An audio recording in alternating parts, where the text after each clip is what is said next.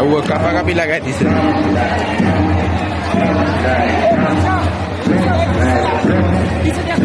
Isi dia lu eh, isi.